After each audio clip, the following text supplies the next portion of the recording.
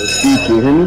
Yes, I can hear you. Yo, yo, bro, I'm gonna put a fire on. No, chill, chill, chill.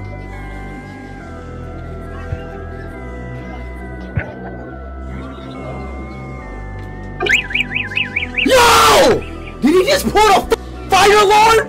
What the is wrong with you, dude? What is wrong with these kids?